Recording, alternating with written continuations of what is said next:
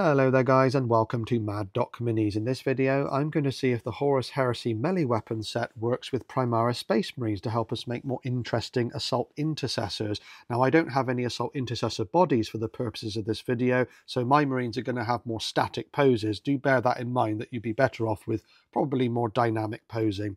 But I just want to see if the larger Primaris physique will accommodate the Horus Heresy weapons. I start off with the double-handed chainsword, a personal favourite of mine.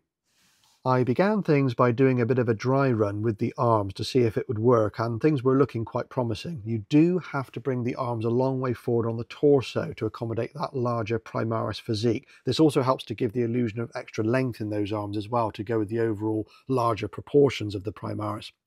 And uh, you can see here, I've had to bring it forward quite a way to accommodate that big torso look. But that's okay, that all gets covered up by the pauldrons later on. Space Marines are very forgiving when it comes to this kind of thing. So uh, once that's together, that's looking pretty decent actually. And whether the proportions of the arms bother you or not is going to be a very personal thing. I think they actually look absolutely fine. But uh, do let me know what you think in the comments, guys. I'm going to finish this miniature off by sticking on the uh, Primaris pauldrons.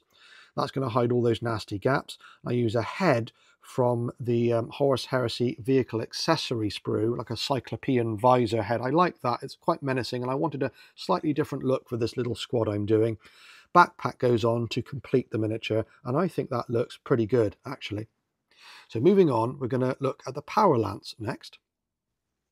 The Power Lance is another of my personal favourites and is another double-handed weapon, so can offer some challenges. In this case, I built a sub-assembly with the arms and the weapon attached to each other. Bit of a risky strategy because you've got that larger torso to accommodate. In my case, it did actually work. Not much finesse involved, but it worked. We are left with some pretty sizable gaps on this one though as you can see. I will highlight those. You may want to even fill these in if you're left with gaps this size as it is I'm not going to bother because in my view the pauldrons are going to hide most of it and you're just not going to really look at the miniature from up underneath. It's just not a, a major problem for me but you, you may feel differently. So do what you must guys. But in essence it does actually work as you can see and it's a nice pose. Putting all the other bits on that comes together really really nicely and is probably my favorite miniature in this squad. Moving on let's look at the thunderhammer another double-handed weapon and another set of challenges. I approached this one in another way. I put the Thunderhammer and one arm on first and then brought the other arm into play. There's multiple ways you can do the double-handed weapons, but uh, I just decided to try a variety of techniques. This one worked quite well um, with minimal gaps actually, and I like the pose on that one, like a twisting pose.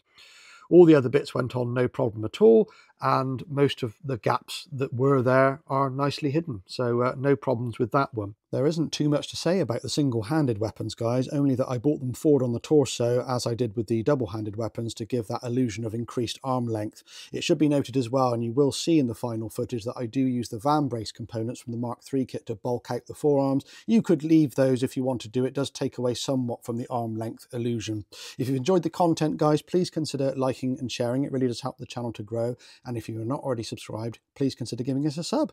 Take a look at these up close on a rotating platform in my homebrew chapter colours and do let me know what you think. Thanks for joining me and take care.